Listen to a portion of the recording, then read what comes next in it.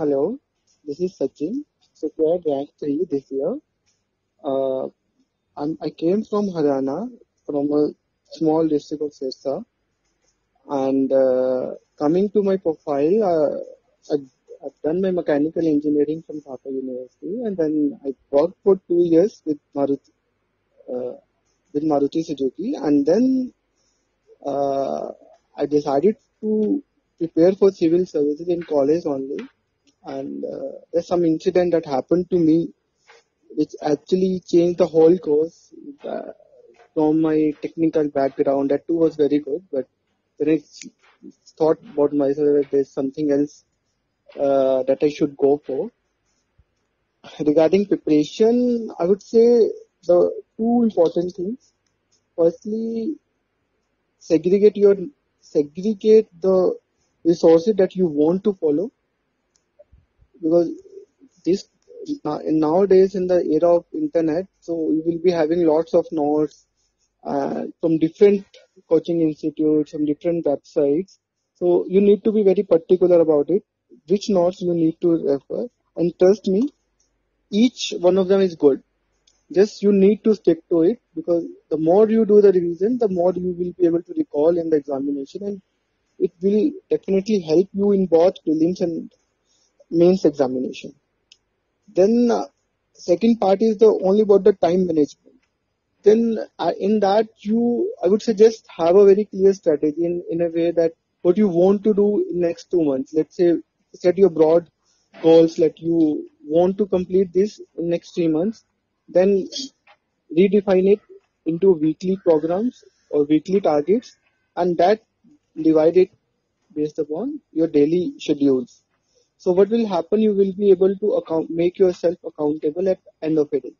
You will be know, you will be knowing that I have covered this, I have covered this, or I was not able to cover this. And I would suggest and have a one have one spare day in a week. So it will be a it will be helpful helpful to you in two ways. First of all, it will help you that if some of the topic you are not able to complete or you are very ambitious in the initial phase, you will be able to complete it on that day. Or otherwise, also if you are able to complete everything, then that day you can keep yourself for doing extracurricular things that will actually help you in increasing your efficiency in, in preparation. Prelims के लिए मुझे जो लगता है कि आप पिछले at least चार पाँच साल के यूपीएससी के पेपर सॉल्व कर लीजिएगा उससे आपको एटलीस्ट आइडिया लग जाएगा कि यूपीएससी किस माइंड फ्रेम से क्वेश्चन पूछता है और एटलीस्ट आप पहले से और थोड़ा सा जज कर पाएँगे खुद को कि आपका प्रिपरेशन लेवल कैसा है तो आप उसके अकॉर्डिंगली आप देख पाएँगे कि कौन सा एरिया वीक है कौन सा एरिया नहीं है अभी एक एक ही मंथ पड़ा तो मैं कुछ नहीं ये नहीं चाहता हूँ कि आप कुछ नया स्टार्ट कीजिए बट यूपीएससी के पेपर्स आप लगा सकते हैं और उससे आपका एलिमिनेशन भी स्ट्रांग होगा जो कि बहुत क्रूशल पार्ट प्ले करता है प्रीलिम्स के पेपर के Then further, my option was anthropology. The subject was actually very good and interesting also. When you go through whole through when how we all evolved right from the, you know, the man ape linkage to the, those caves in which we all our ancestors used to live and to present scenario and to hell lot of social problems. It's small small problem that see that actually are harming the country like anything, you will be able to visualize how different caste groups are fighting, how why different caste groups are asking for reservation, why different social groups are fighting, why the on the first place countries are fighting with each other, and on the over and above of it, the philosophy behind it, why human beings are like this. So there will be I would say anthropology such a subject you will be able to cover it, lots of things. But I would not suggest that you will take it just when uh, just because it's interesting. Also see whether you are comfortable or not, and uh, also with about your own capabilities. That like in anthropology you need to cram the things a lot. You need to make diagrams. Whether you're good in that or not, you should decide first. Only then you can go for optionals uh, if you want to take anthropology. Resources की बात करें तो अगर हम current affairs की बात करते हैं तो मैं, मैंने मेनली सिर्फ़ दो ही रिसोर्सेज को फॉलो किया था। एक इनसाइट साइंस और दूसरा विजन और कहीं कहीं पे आयस बाबा के आर्टिकल्स जो रेगुलरली आते हैं वो अच्छे होते हैं। बट एक चीज़ ध्यान रखिएगा जब आप करंट अफेयर के नोट्स बना रहे हैं जस्ट आप ट्राई कीजिएगा कि जो आपका यूपीएससी का सिलेबस है उसे लिंक लिंक करके देखिए और ट्राई कीजिए कि हर सब टॉपिक के अंदर आपको पता हो कि इस इस सब टॉपिक के अंदर ये इश्यू चल रहा है और उसके रिगार्डिंग कुछ फैक्ट्स कम से कम चार से पाँच फैक्ट्स हर इशू के बारे में या फिर हर सब टॉपिक के बारे में जो कि न्यूज़ में चल रहा है और जो यूपीएससी के सिलेबस से लिंक्ड है। और इसकी आप छोटी छोटी नोटबुक्स बना सकते हैं छोटी छोटी डायरीज जो हम लोग पॉकेट डायरीज भी होती हैं। उससे होगा क्या आप लोग बहुत ज़्यादा रिवाइज करने में आपको बहुत हेल्पफुल होगा।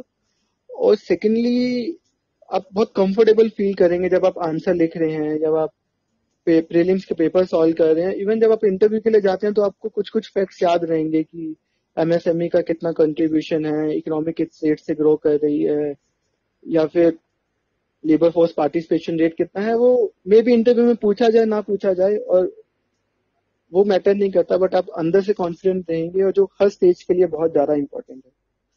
और अगर बाकी रिसोर्सेज की बात करें तो वो बाकी सब स्टैंडर्ड रिसोर्सेज हैं कि एक तो एनसीआरटी कर लीजिएगा।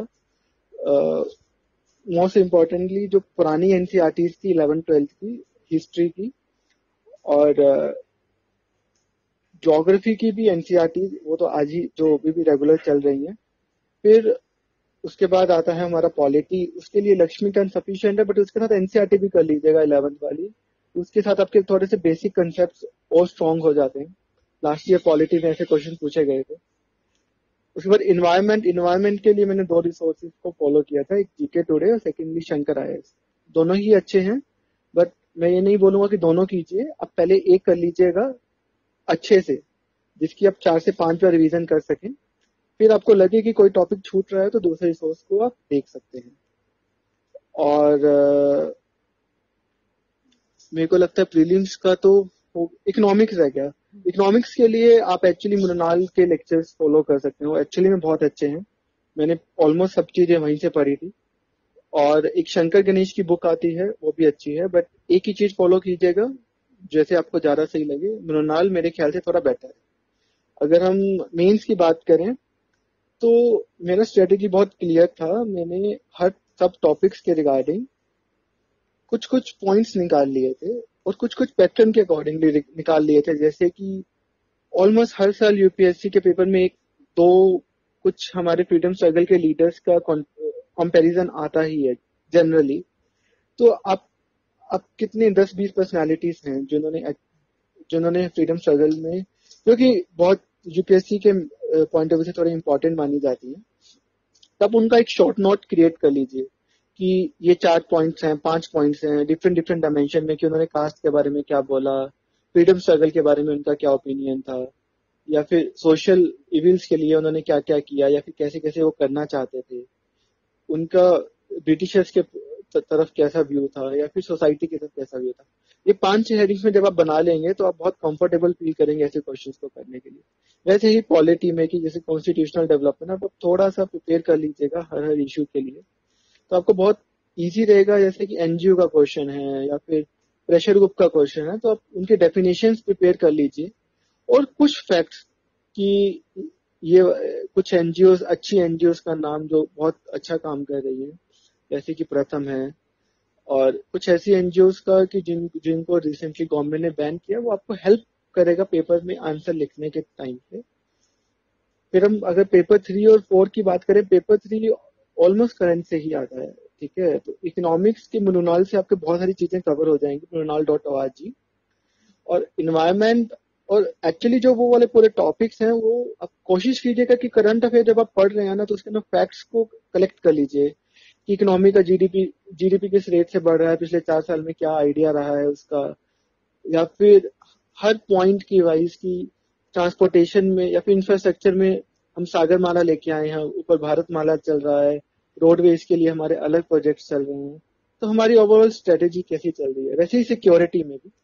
हर, अब सिक्योरिटी के तीन चार डायमेंशन है साइबर सिक्योरिटी है, या फिर टेररिज्म का इशू है इंटरनल इंटरनल सिक्योरिटी में नेक्सलिज्म का इशू है लेफ़्ट विंग एक्सट्रीमिज्म तो अब इनके इश्यूज़ को आप प्रिपेयर जब कर रहे हैं आई एम श्योर आप सब लोग प्रिपेयर कर रहे होंगे और आप आप लोगों को आते भी होंगे बट मैं मैं ये बिलीव करता हूँ कि आप चार चार, पाँच पाँच पॉइंट्स निकाल लीजिए हर टॉपिक उसके बाद आप हर आंसर जब आप लिखेंगे, आप बहुत कंफर्टेबल फील करेंगे और आप एक्चुअली में रिकॉल कर पाएँगे पेपर के अंदर।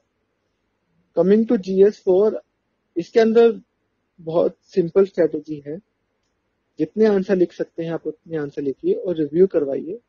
और अननेसेसरली किसी वोकेबलरी पे मत जाइए कि मुझे ये बोलना है या फिर मुझे ये लिखना है। कि मुझे डेफिनेटली इसी माइंड फ्रेम में लिखना है। आप बस ये सोच के लिखिए कि इस सिचुएशन में क्या सही है।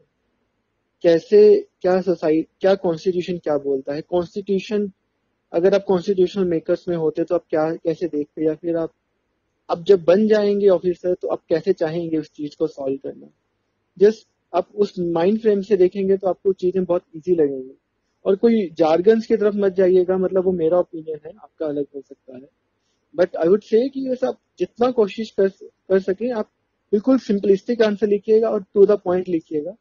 और जितना लिखने की प्रैक्टिस करेंगे उसकी आपकी स्पीड बढ़ जाएगी क्योंकि ये पेपर बहुत लेंथी आता है आपको हेल्पफुल करेगा। देन उसके बाद कोचिंग की जहाँ तक बात आती है तो जब मैंने जीएस प्रिपेयर किया था तो ऑलमोस्ट मैंने खुद से ही प्रिपेयर किया था। ऑल मैंने एक दो जगह पे मैंने एक स्टार्टिंग के लिए मुझे गा, मैंने गाइडेंस की गाइडेंस के लिए ज्वाइन किया था बट मोर और less I prepare myself फिर मेरा ऑप्शनल है एंथ्रोपोलॉजी जो कि मैंने एक वैद आई एस है वैद आई एस है करौल बाग में ओ आर एन में। जिनसे कि मैंने कोचिंग ली थी he was good only but only thing is कि आप उन अगर आप वहाँ जाते हैं या फिर कोई तो आपको ये याद रखिएगा कि कोई कोचिंग इंस्टीट्यूट के पास कोई आ, कोई जादुई छड़ी नहीं है या फिर कोई सिरप नहीं है कि उससे हो जाएगा।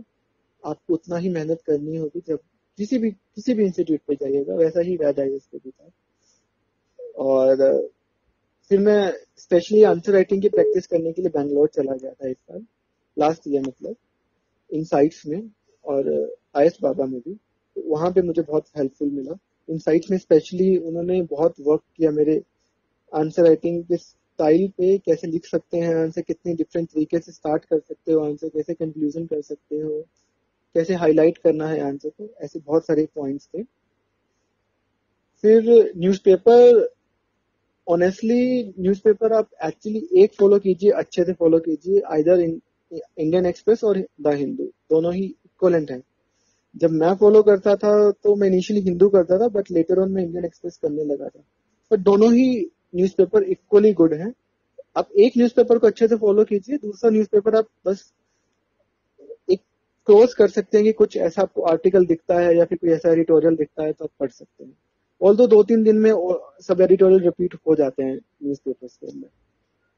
कमिंग टू इंटरव्यू मेरा ऑलमोस्ट पूरा, अभी भी मैं सर्विस में हूँ इंडियन कॉर्पोरेट लॉ सर्विस तो मेरा पूरा interview almost Indian corporate law service पे ही रहा। कंपनी एक्ट क्या है कंपनीज़ कैसे रेगुलेट करते हैं। जो अलग अलग स्कैम्स देखते हैं हम लोग कंपनीज़ के अंदर। चाहे सत्यम की बात करें या शारदा की बात करें या रिसेंटली नीरव मोदी की बात करें तो क्यों हो रहे हैं? कैसे कंट्रोल किया जा सकता है? कैसे सिस्टम्स आप इंस्टीट्यूशनलाइज करना चाहते हैं कि जिससे ये चीज़ें ना हो? फिर मोस्ट ऑफ़ द क्वेश्चन ऐसे ही थे कुछ क्वेश्चन एग्रीकल्चर पे भी थे कि फार्मर से साइज़ को कैसे कंट्रोल किया जाए एग्रीकल्चर को कैसे ट्रैक पे लेके आया जा सकता है। फिर कुछ क्वेश्चन टेक्नोलॉजी पे थे आर्टिफिशियल इंटेलिजेंस और उसके इम्प्लीकेशन क्या क्या हो सकती है और हमारे लिए क्या अपॉर्चुनिटीज़ है? और फिर आईआर पे कुछ क्वेश्चन थे कि चाइना को लेके और उसके डिफरेंट डिफरेंट जो इवेंट्स हो रहे हैं हमारे मालदीव्स में श्रीलंका में तो उसके रिगार्डिंग ओपिनियन क्या है? इंडियन ओशन में ओपिनियन क्या है? एक्चुअली जो लोग छोटे शहरों से आते हैं मतलब आज के डेट में मुझे नहीं लगता है कि आपको किसी पर्टिकुलर प्लेस पे आने की ज़रूरत है। आज की डेट में आपको ऑनलाइन रिसोर्सेज इतने सारे हैं मतलब जैसे कि इनसाइट्स ऑन इंडिया ग्लोनाल डॉट ओ या फिर आई एस बाबा और बाकी सब इंस्टीट्यूट की भी आजकल ऑनलाइन वेबसाइट्स आ गई है। तो आप देखिए कि आप ट्राई कीजिए उनको। थोड़ा सा टफ होता है, मैं मानता हूँ बट ऐसा नहीं है कि आप कर नहीं सकते हैं बट आपको बस एक स्ट्रॉन्ग डिटर्मिनेशन रखना होगा कि आपको ये चीज़ आज के दिन में करनी है, जैसे कि मैंने बोला बोला शेड्यूल वाइज तो आप कर लेंगे ज़रूरी नहीं है कि आपको उस जगह पे आना ही आना है करना ही करना है मैंने ऑलमोस्ट जीएस खुद ही प्रिपेयर किया था just prepare hard. I've seen that. Uh, I see myself that I've cleared it through only through hard work. And ऐसा होगा बहुत सारे मोमेंट्स आएँगे कि आपको लगेगा कि शायद पॉसिबल है या नहीं है होगा या नहीं होगा कब ये जर्नी खत्म होगी फ्रस्ट्रेशन आएँगी बट बिलीव मी बस हार्डवर्क कीजिएगा और सक्सेस आपकी ही होगी। एंड uh, एक महीना रह गया है जो भी अभी देने वाले हैं प्रीलिम्स के लिए तो आप डट जाइए। कोशिश कीजिए कि अच्छे मार्जिन से आप क्लियर करें ताकि मेंस प्रिपरेशन के टाइम आपको ये टेंशन ना रहे कि आप आपका प्रीलिम्स होगा या नहीं होगा। And keep watching daily knowledge thank you